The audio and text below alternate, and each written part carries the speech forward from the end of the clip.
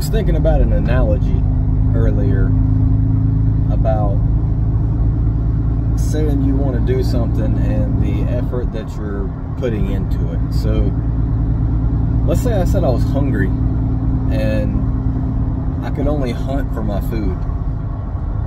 But I was only hunting once a month.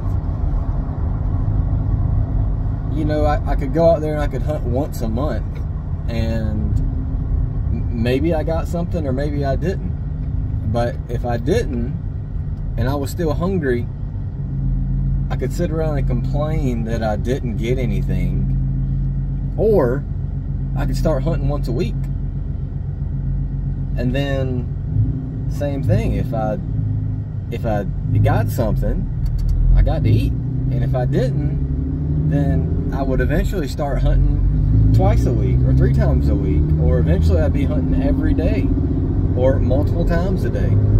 So my thought process was when you say you want something, the effort that you put in has to keep scaling up until it produces the result that you wanted. And sometimes those don't match up. Sometimes you think a, a, a certain amount of effort will produce the results that you want, and you find that it requires way more effort.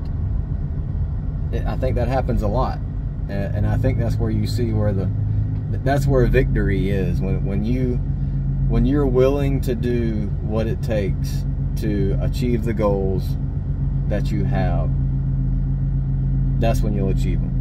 And I, I, don't think we understand what it takes a lot of times. Yeah, and this is this is to do with business. I was thinking about it on my my efforts that I've been putting into building up my mortgage business.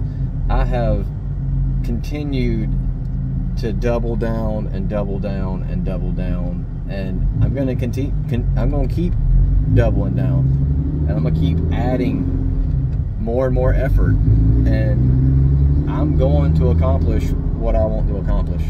I'm going to win. I'm, I'm going to do whatever it takes and I'm going to win. But I think people just don't realize how much effort, including me, I, I didn't recognize how much effort I was going to have to put into this business. But I see it and I'm willing to do it and I'm not stopping. So here we go. Let's get it.